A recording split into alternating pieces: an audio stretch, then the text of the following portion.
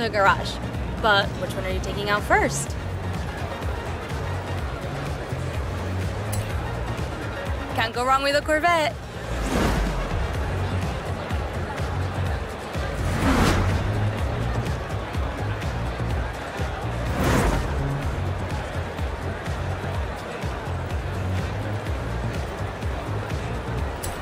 It's gotta be the Corvette. Great.